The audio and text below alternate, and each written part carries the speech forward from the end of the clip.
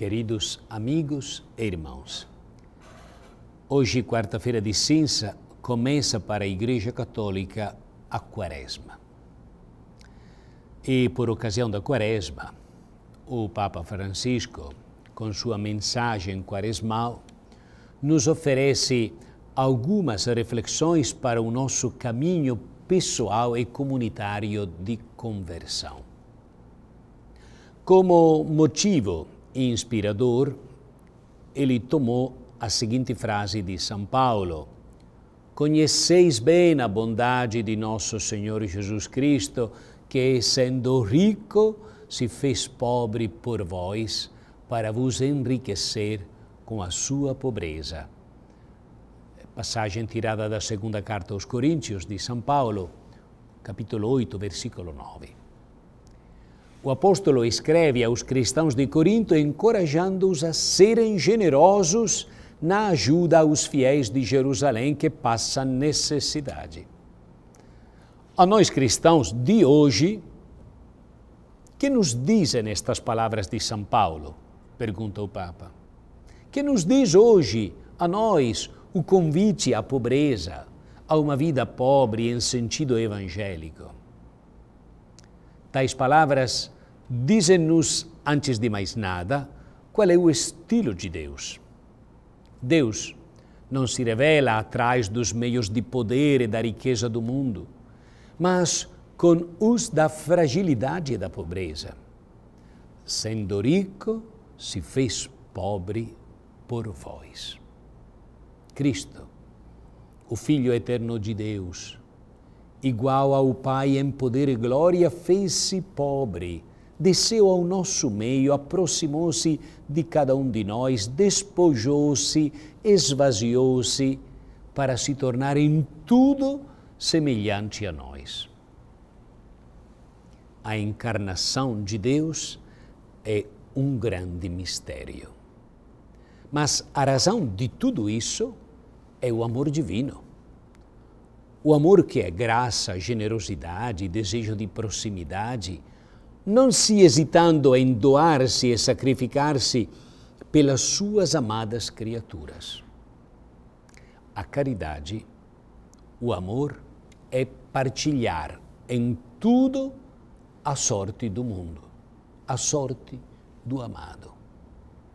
O amor torna-se semelhante cria igualdade, abate os muros e as distâncias. Foi o que Deus fez conosco.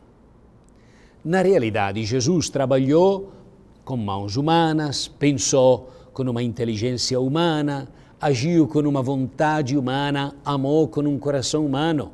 Nascido da Virgem Maria, tornou-se verdadeiramente um de nós, semelhante a nós em tudo, exceto no pecado a finalidade de Jesus, se fazer pobre, não foi a pobreza em si mesma, mas, como diz São Paulo, para vos enriquecer com a sua pobreza. Não se trata de um jogo de palavras, de uma frase sensacional, diz o Papa. Pelo contrário, é uma síntese da lógica de Deus, a lógica do amor, a lógica da encarnação e da cruz. Deus não fez cair do alto a salvação sobre nós como a esmola de quem dá parte do próprio supérfluo com piedade filantrópica. Não, não é assim o amor de Cristo. Quando Jesus desce às águas do Jordão e pede a João Batista para batizá-lo, não o faz porque tem necessidade de penitência, de conversão, mas falo para se colocar no meio do povo necessitado de perdão, no meio de nós pecadores, e carregar sobre si o peso dos nossos pecados. Este foi o caminho que ele escolheu para nos consolar, para salvar, para libertar da nossa miséria. Faz impressão ouvir o apóstolo dizer que fomos libertados não por meio da riqueza de Cristo, mas por meio da sua pobreza. E todavia, São Paulo conhece bem a insondável riqueza de Cristo herdeiro de todas as coisas. E o Papa pergunta: em que consiste então esta pobreza com a qual Jesus nos liberta e torna ricos? É precisamente o seu modo de nos amar, o seu aproximar-se de nós, como fez o bom samaritano com o homem abandonado meio morto na beira da estrada. Aquilo que nos dá verdadeira liberdade, verdadeira salvação e verdadeira felicidade é o seu amor de compaixão, de ternura, de partilha. A pobreza de Cristo que nos enriquece é Ele fazer-se carne, tomar sobre si as nossas fraquezas, os nossos pecados, comunicando-se a comunicando-nos a misericórdia infinita de Deus. Poderíamos dizer que a pobreza de Cristo é a maior riqueza. Jesus é rico de confiança ilimitada em Deus Pai, confiando-se a Ele em todo momento, procurando sempre e apenas a Sua vontade e a Sua glória. É rico como o é uma criança que se sente amada e ama os seus pais, não duvidando um momento sequer do seu amor e da sua ternura. A riqueza de Jesus é Ele ser o Filho. A sua relação única com o Pai é a prerrogativa soberana deste Messias pobre. Quando Jesus nos convida a tomar sobre nós o seu jogo suave, convida-nos a enriquecer-nos com esta sua rica pobreza e pobre riqueza, a partilhar com Ele o seu espírito filial e fraterno, a tornar-nos filhos no Filho, irmãos no irmão primogênito. O Papa diz que foi dito que a única verdadeira tristeza é não ser santo. Podia-se dizer também que só há uma verdadeira miséria é não viver como filhos de Deus e irmãos de Cristo. Poderíamos pensar que este caminho da pobreza fora o de Jesus, mas não o nosso.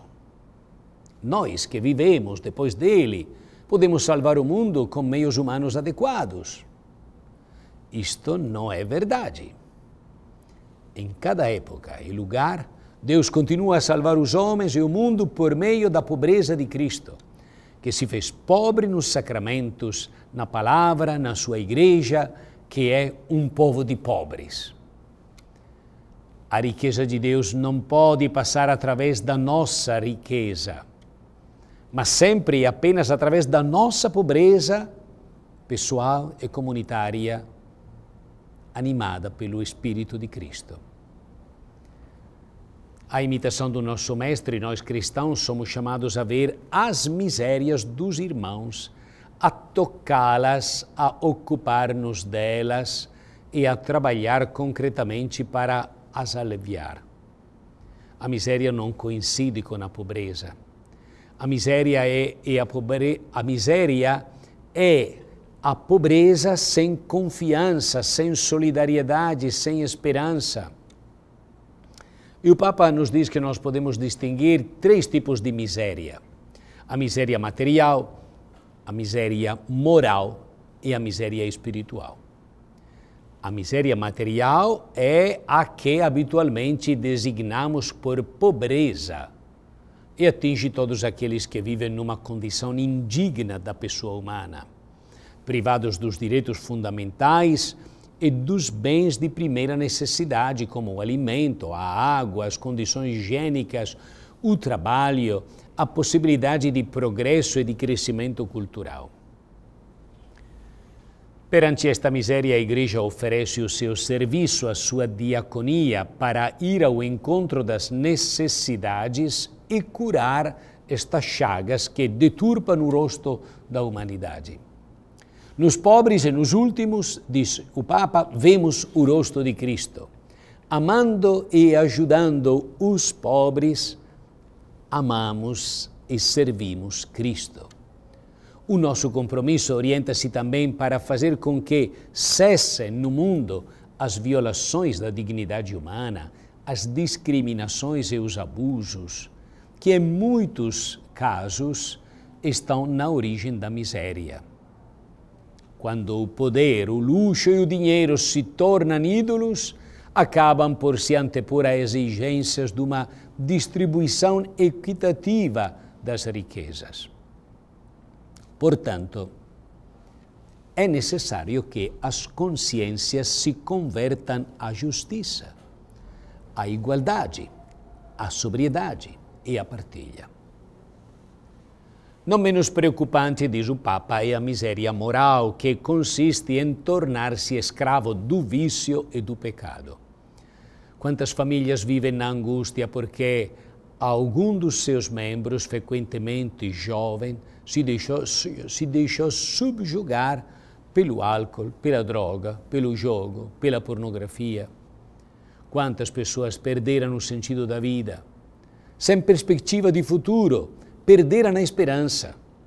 E quantas pessoas se veem constrangidas a tal miséria por condições sociais injustas, por falta de trabalho, que as priva da dignidade de poderem trazer o pão para casa, por falta de igualdade nos direitos à educação e à saúde.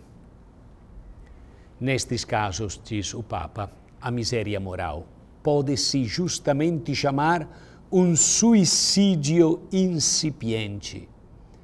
Esta forma de miséria, que é causa também de ruína econômica, anda sempre associada com a miséria espiritual, que nos atinge quando nos afastamos de Deus e recusamos o seu amor. Se julgamos não ter necessidade de Deus, que em Cristo nos dá a mão, porque nos consideramos autossuficientes, nós estamos indo para o caminho da falência. O único que verdadeiramente salva e liberta é Deus. Que nós possamos acolher este convite do Papa, que nós possamos encontrar nos pobres o rosto de Jesus e viver esta quaresma com atitudes de solidariedade verdadeira, de fraternidade autêntica, com os menores, com os pequenos, com os últimos. Boa quaresma para todos e que Deus vos abençoe em nome do Pai, e do Filho, e do Espírito Santo. Amém.